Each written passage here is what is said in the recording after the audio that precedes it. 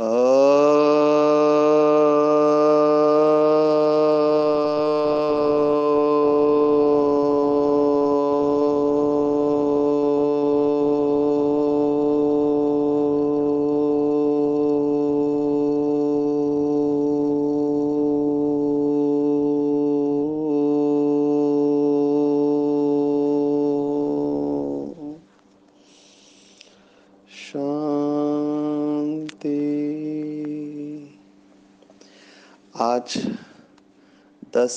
पाँच 2022 भारत में बुधवार है, सॉरी, सतगुरुवार है।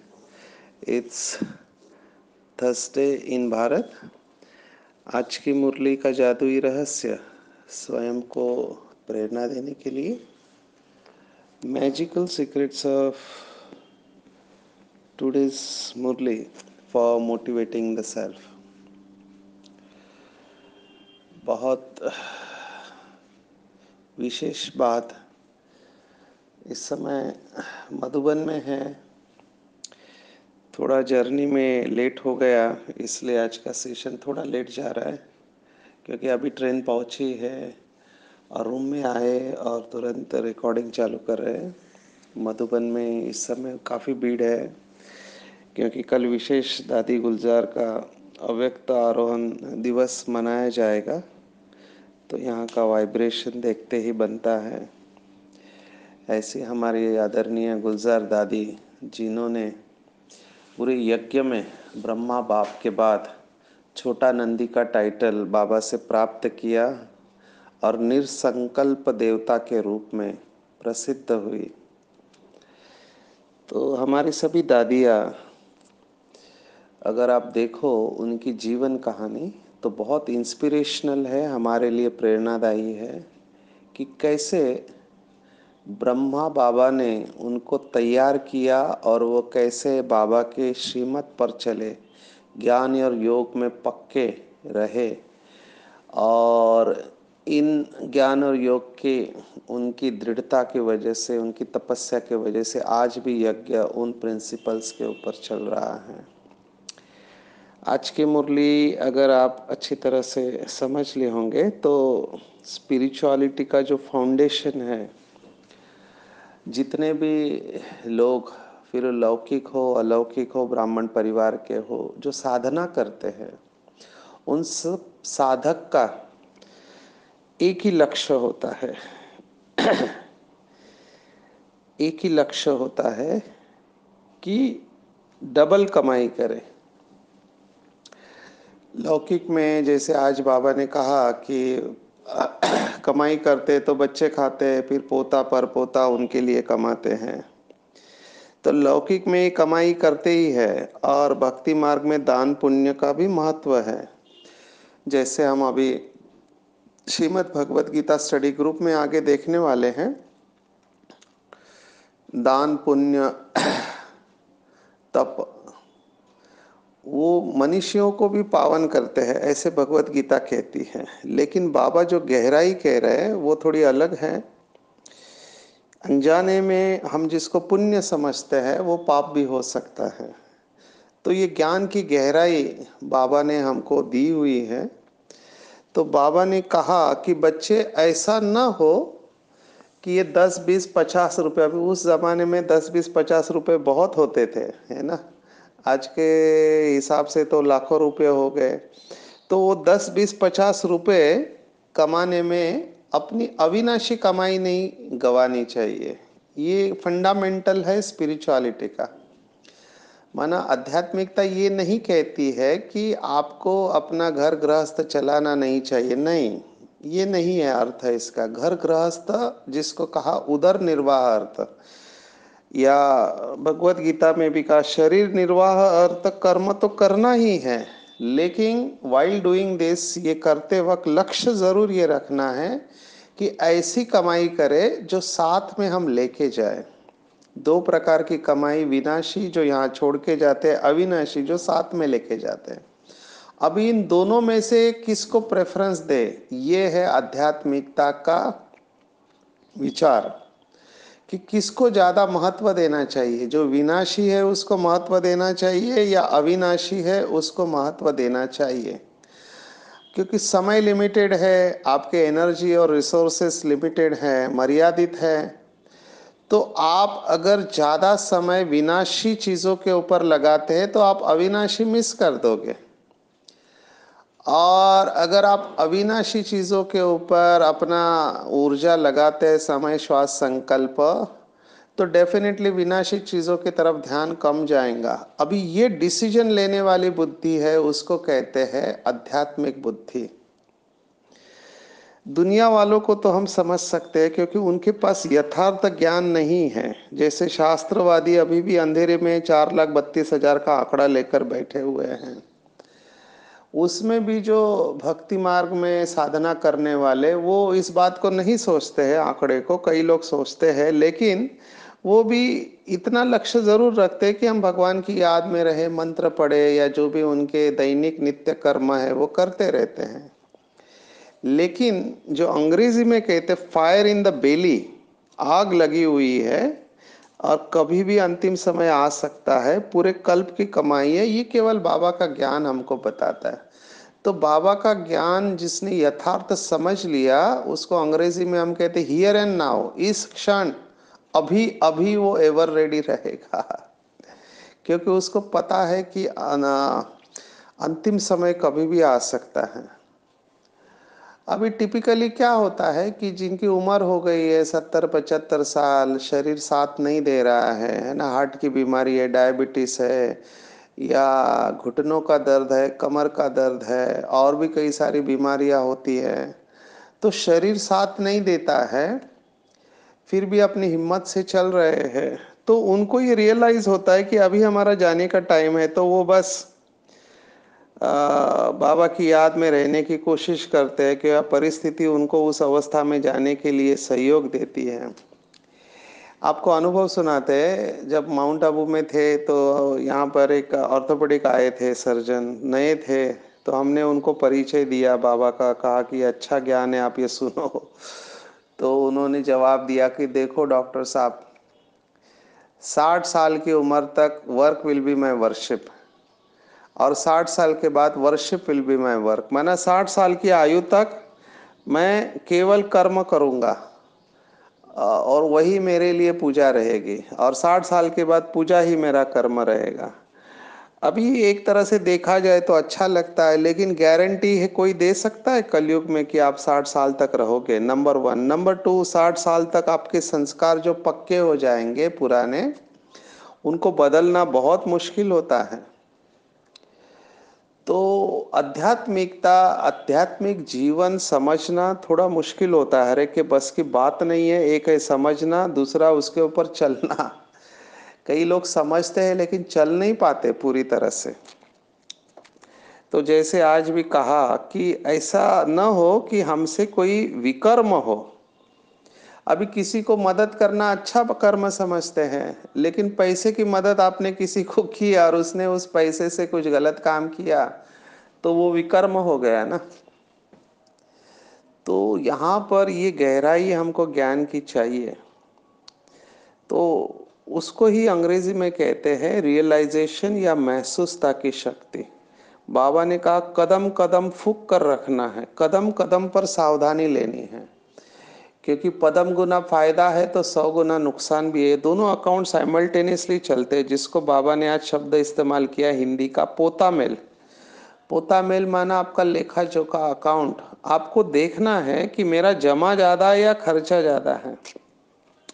सचिन भाई जब सेशन लेते हैं तो लोगों को पूछते हैं, समझो कोई पचास साल, साठ साल का है तो उनको हम बोलते कि अपने जीवन को देखो और तराजू का जो पलड़ा होता है, उसमें एक पलड़े में सुख के प्रसंग रखो और एक पलड़े में दुख के प्रसंग रखो। तो कौन सा पलड़ा भारी होगा? तो कहते हैं कि दुख का पलड़ा भारी दिखाई देता है, क्योंकि कलयुग है, दुख का पलड़ा भारी होगा। अभी सुख का पलड़ा में कौन सी चॉइसेस आपने की थे? वो सब चेक करते हैं और आप ऐसे ही जाना चाहते हो क्या? तो उनके सामने उनका पूरा जीवन चित्रपट कम से कम इस जन्म का रखते हैं। अभी मरते समय ये सब बातें याद आती है व्यक्ति को, कोई मैंने बचपन से क्या क्या किया अभी तक? लेकिन उस समय कुछ कर नहीं सकते हैं, क्योंकि संस्कार पक्के हो गए और वही संस्कार लेके जाना है। तो सचिन भाई हमेशा अपने सेशंस में कहते हैं, वैसे डॉक्टर बचाने की बात करते हैं, लेकिन सचिन भाई मृत्यु की तैयारी करवा लेते हैं। और मुझे लगता है spirituality is preparing your self for the death यह स्पिरिचुअलिटी आध्यात्मिकता का दूसरा शब्द ही है जीते जी मरना। अब ये बहुत बड़ी समझदारी है जो ये कर सकता है। महाराष्ट्र में संत होके गए। वो कहते हैं की याचसाठी केला होता अट्टहास कि शेवटचा दिन गोड व्हावा मना इसी के लिए मैं ज़िंदगी भर पुरुषार्थ करता रहा कि आखिरी दिन मेरा अच्छा हो। इसको भक्ति मार्ग में कितना इसको री पक्का किया गया। अंत मते सा गतवा, है ना? हमने अभी देखा, मरते समय की आपकी स्थिति के अनुसार गति क्या होगी? गति सदगति जो शब्द इस्तेमाल किया हुआ आठवें अध्याय में। तो वो इतना इजी नहीं है।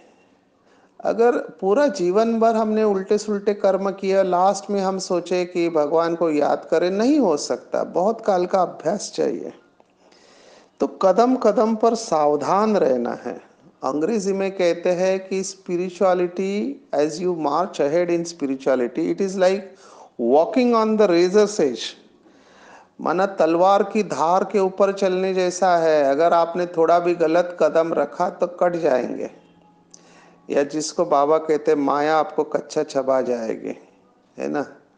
ऐरावत, गजेंद्र को मगरमच्छ ने पकड़ लिया। ये सब क्या है? ये कहानियाँ हैं। महारथी, गजेंद्र माना महारथी।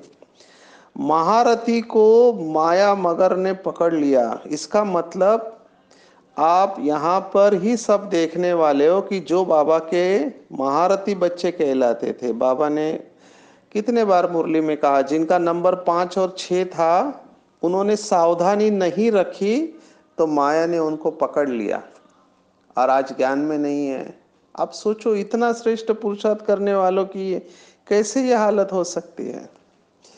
क्योंकि ज़रूर गाफिल रहे हैं, गफलत में रहे हैं, है ना? अलबेले रहे हैं, तभी तो ये हुआ। हम ये सब देख रहे हैं और ये सब और बढ़ने वाला है। जिसको बाबा ने कहा छन्नी होने वाली, छन्नी समझते हैं।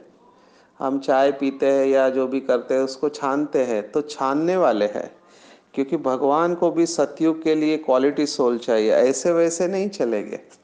सतयुग माना प्योर सोल पूरे कल्प में सर्वश्रेष्ठ आत्माएँ वो होंगे, नौ लाख, इवन प्रजा भी प्योर होगी। तो उसकी छन्नी तो होगी ना।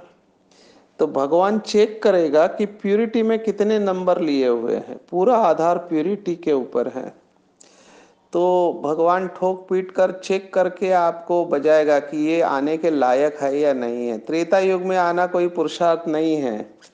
फेल होने के लिए कोई पुरुषार्थ नहीं करना पड़ता है। पुरुषार्थ तो पास पास विथ ऑनर और हाईएस्ट रैंक के लिए डिस्टिंक्शन के लिए करना होता है। तो वो छन्नी अभी होने वाली है। तो बिल्कुल ज़रा भी हलचल में नहीं आना है। जो बच्चे अलबेले रहेंगे, है ना, गाफिल रहेंगे, गफलत में रहेंगे, माया डेफिनेटली उनको छोड़ेगी नहीं। इसीलिए कदम कदम पर बाबा ने कहा, सावधानी लेनी है, बाबा को समाचार सुना देना चाहिए। अभी कई भाई बहने क्या कहते हैं कि, भाई साहब, किसको सुनाए? अभी इतना बेहद का परिवार हो गया है। शुरुआत में तो चलो तीन से परिवार ही थे तो छोटा परिवार, सुखी परिवार। वहाँ वन टू वन बात होती थी। अभी इतने सेंटर हो गए, इतने भाई बहने हो गए। किसको कौन पूछे? कौन किसको पालना दे? अभी ये बात बिल्कुल ठीक है। जिस घर में माता पिता नहीं होते हैं, ध्यान रखने वाला कोई नहीं होता है। वो बच्चे अपनी मनमानी करने लगते हैं। ये बात बिल्कुल ठीक है। इसलिए बाबा ने इसका जवाब दिया मुरली में कि अभी आप किसी से अपेक्षा नहीं करो कि मुझे पालना मिले। जैसे ब्रह्मा बाबा ने दादियों को पालना दी, टोली खिलाते थे, है ना? उनसे बातें करते थे। इवन बड़ी दादी जब थी, तभी भी हमने देखा कि दादी पूछती थी, कैसे है? मुझे अभी भी याद है।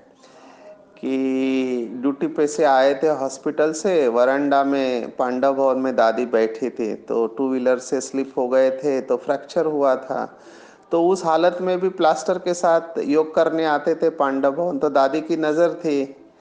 तो दादी जब भी मिलती थी, दादी बुलाती थी और पूछती थी, कैसे हो डॉक्टर साहब? तबीयत ठीक है? अभी ये पूछना भी कितनी बड़ी बात है। इतनी बड़ी संस्था की चीफ एक कुमार को पूछ रही है तो ये रिलेशंस था? अभी ये पालना पीछे वालों को कहाँ मिलेंगे? उनको तो दादियों को देखने को भी नहीं मिलता। अभी तो दादियाँ रही ही नहीं है, बहुत हमारी एक आदरणीय रतन मोहिनी दादी बनी है, फिर बड़ी दीदिया है जो अभी दादियों की उम्र की बनते जा रही है। तो ये पालना तो मिसिंग है ना? परिवार का प्यार होता है, पालना होती है, ये नहीं पता। अभी उस समय तो कोई बीमार होते थे तो भी उनको मिलने जाते थे। अभी कितने परिवार, कौन किसको देखने को जाएगा? तो कई बार इससे लोग नाराज़ भी हो जाते हैं कि हम बीमार रहे, लेकिन दीदी ने फ़ोन नहीं किया, किसी ने पूछा ही नहीं। तो फिर कहते हैं, ये कौन सा परिवार है? एक तरफ़ हम कहते परिवार है, लेकिन दूसरी तरफ़ हमारा पूछा पूछा भी नहीं जाता है। सो प्लीज़ अंडरस्टैंड यहाँ पे फीलिंग वगैरह में नहीं आके बाबा ने जवाब दिया कि जैसे परिवार बेहद का होते जाता है तो अपनी पालना खुद करनी है। डोंट एक्सपेक्ट कि दूसरा मेरी पालना करेगा। हम सब भगवान की पालना में पल रहे हैं तो अपने आप को शक्तिशाली रखना है।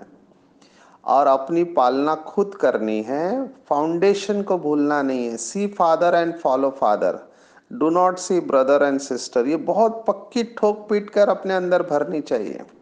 अनुभव सुनाते हैं।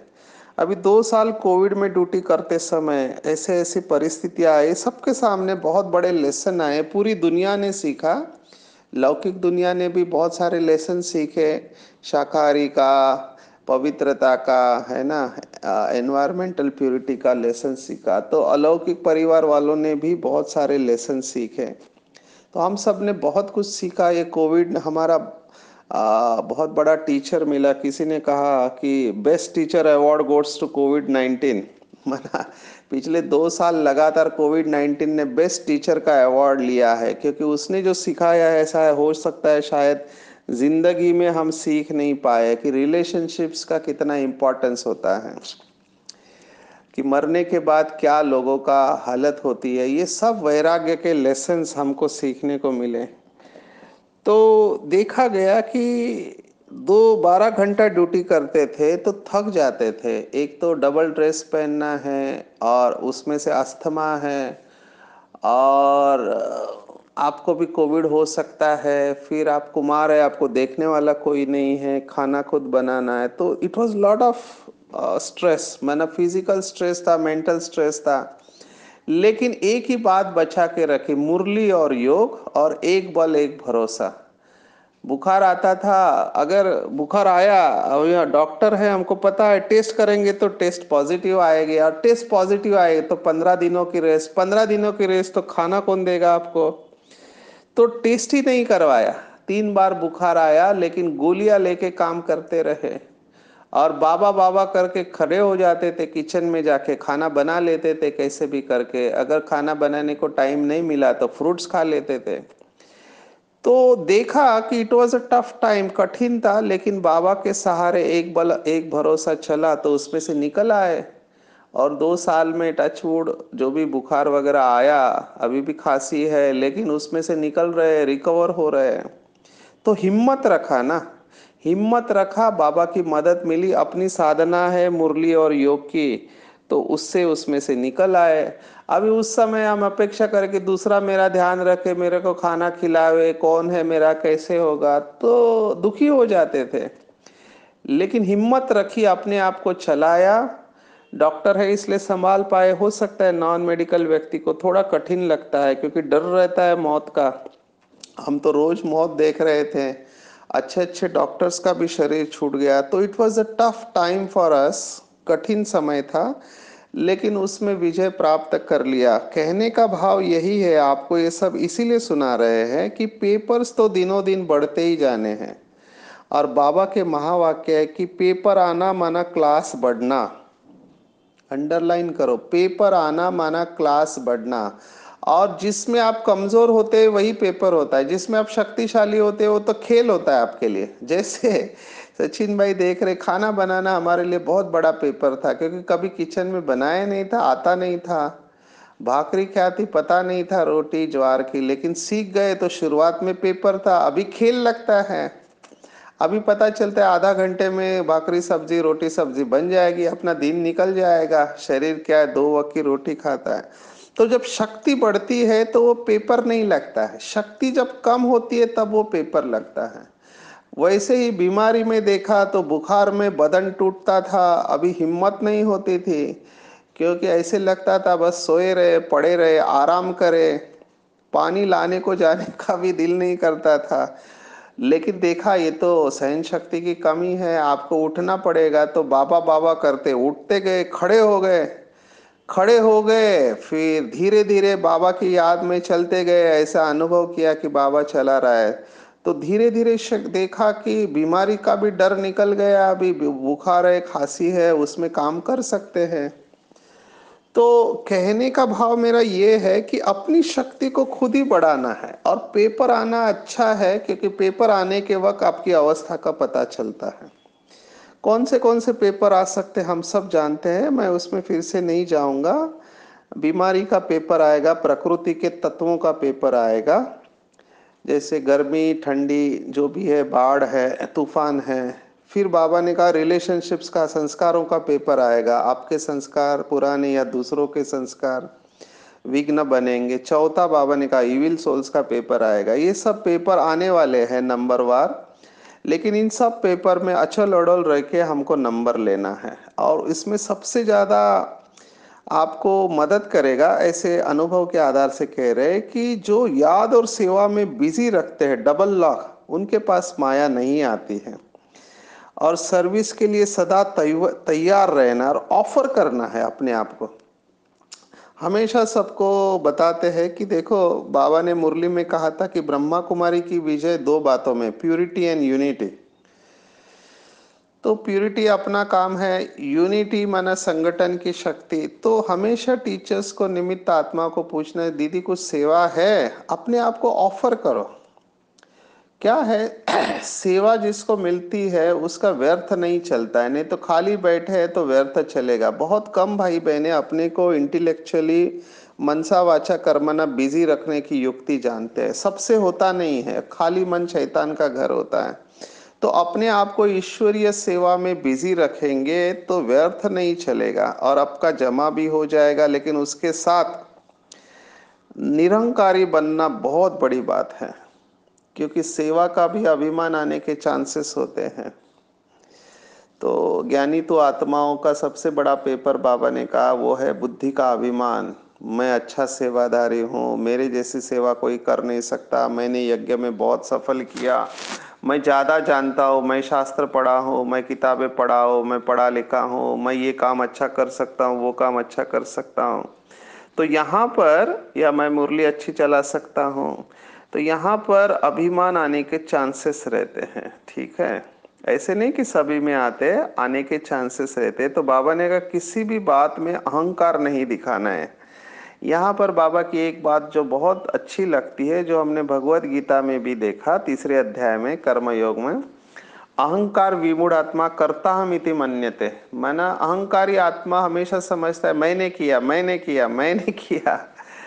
तब भगवत गीता भी लौकिक कहते हैं कि ये ये मूर्ता है जो आप कह रहे हैं कि आप कर रहे हो, कोई और आपके द्वारा करवा रहा है। और ये स्पष्ट अनुभव है सभी बाबा के बच्चों का कि सेवा जो भी हो रही है, वो बाबा करा रहा है। बाबा विशेषता भरता है है ना? तो हर एक बाबा के बच्चे में कोई ना कोई विशेषता है। उस विशेषता को सेवा में लगाकर वो सेवा होती है और कराने वाला बाबा है। तो कभी भी ये अहंकार में नहीं आना है कि मैंने किया, अभी मैंने किया या मैं सीनियर हूँ तो मुझे ये सब मिलना चाहिए। देखो बाबा ने आज पूरा अंडरलाइन किया, अपनी सेवा अपने हाथ से करनी है।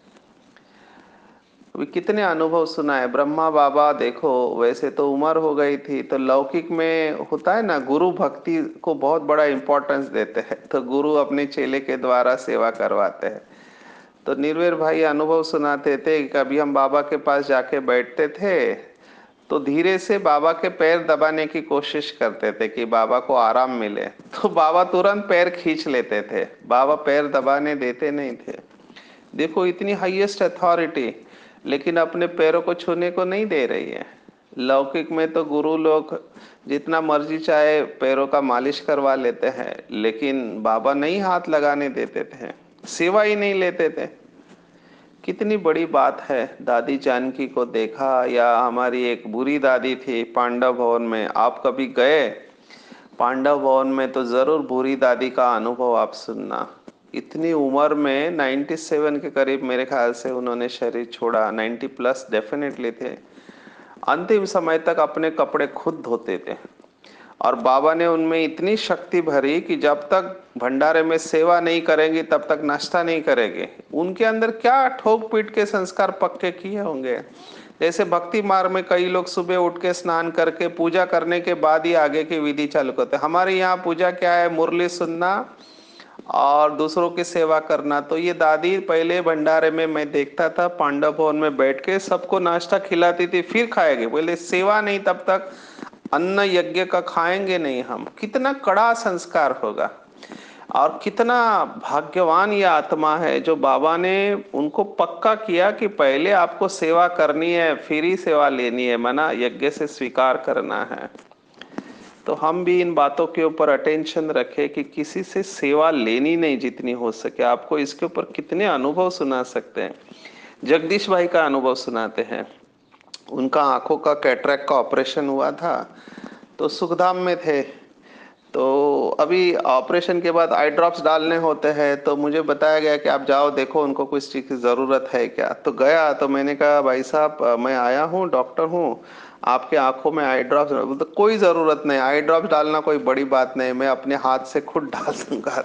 तो उन्होंने आई ड्रॉप अभी दूसरा कोई होता तो बोलता अच्छा है, बैठो इधर आई ड्रॉप्स डालो, मेरे को ज़रूरत है। लेकिन उन्होंने कहा, नहीं, मुझे कोई ज़रूरत नहीं आई ड्रॉप्स की, मैं अपने आई ड्रॉप्स खुद डाल सकता हूँ, क्योंकि मेरे दोनों हाथ अच्छी तरह से काम कर रहे हैं। आप सोचो इस आत्मा का क्या प्रिंसिपल होगा, किस प्रिंसिपल के ऊपर ये जी रहे होंगे या जिए होंगे? एक बार ऐसे हुआ, हमारे आदरणीय जगदीश भाई कई किसी प्रोग्राम से लेट आ गए। लेट आ गए तो गाड़ी उनको छोड़ने को आए।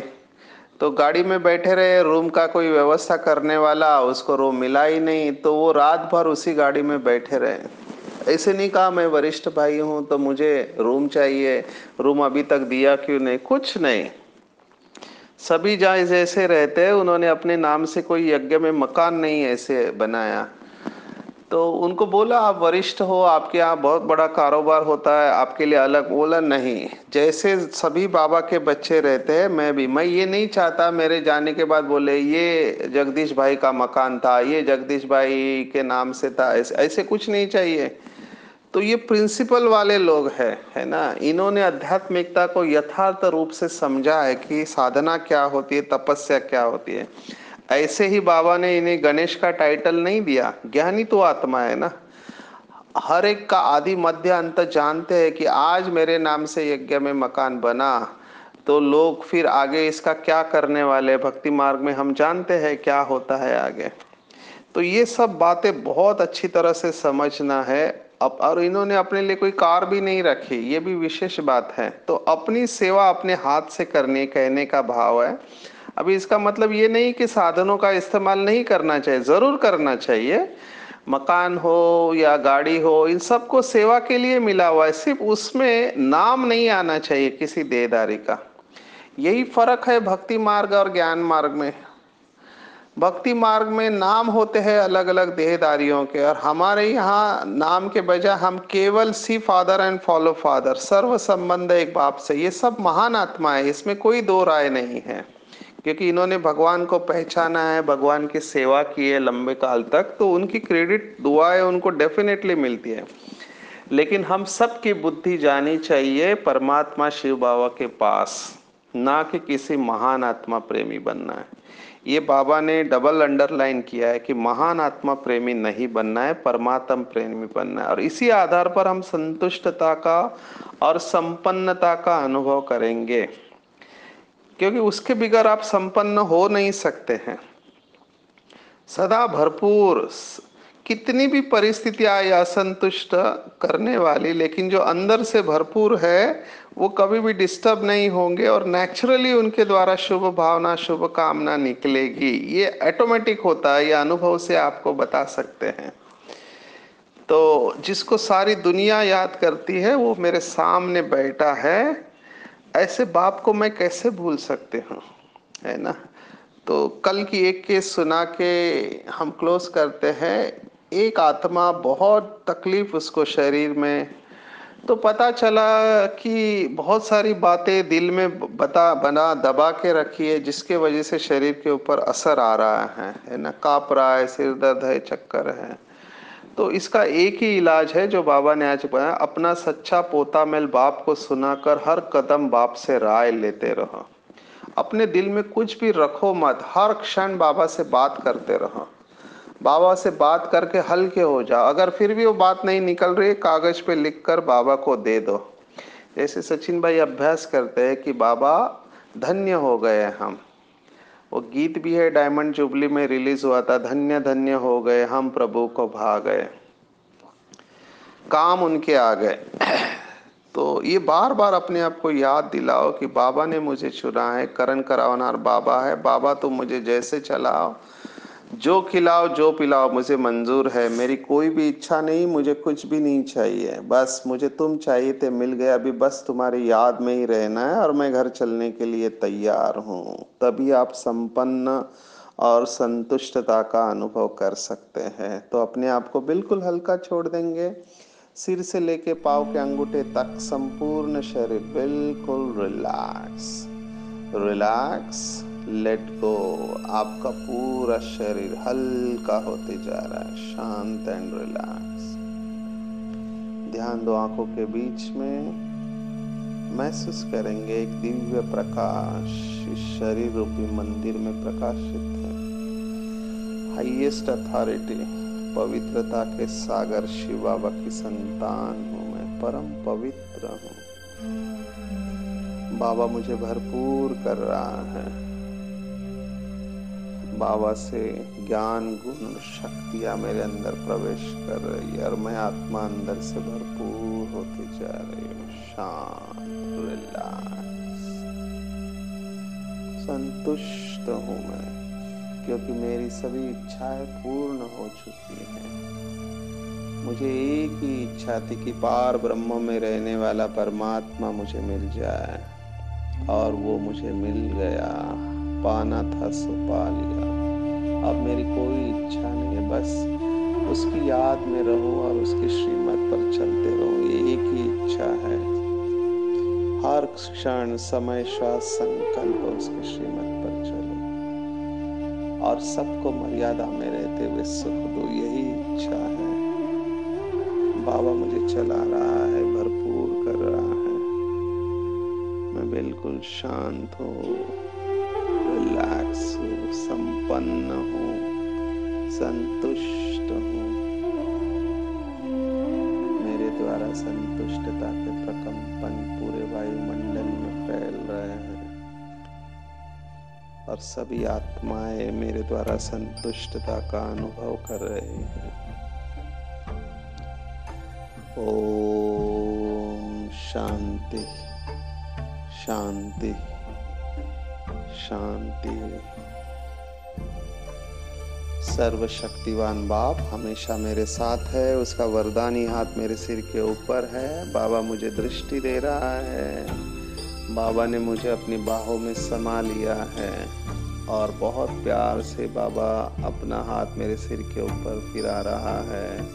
और बाबा मुझे कह रहा है, बच्चे, तुमसे इनमें नूर है। तुम मेरे हो। सदा के लिए मेरे थे, मेरे है और मेरे ही बने रहोगे। सफलता तुम्हारा ईश्वरीय जन्म सिद्ध अधिकार है। तुम ईश्वरीय संतान हो। तुम्हारी विजय निश्चित है निश्चित है निश्चित है। जाओ बच्चे, विश्व का कल्याण करो। सभी को बाबा का परिचय दो और सभी के दुखों, जीवन से दुखों को दूर करो। आत्मा बाबा से नैन मुलाकात करते हुए बाबा को कह रहे हैं बाबा, आप जैसा बोलते हो वैसे ही होगा। मेरा बाबा, मीठा बाबा, प्यारा बाबा, दुलारा बाबा, सच्चा बाबा और अच्छा बाबा, दयालु बाबा, कृपालु बाबा, वाह बाबा, शुक्रिया बाबा, शुक्रिया। ओ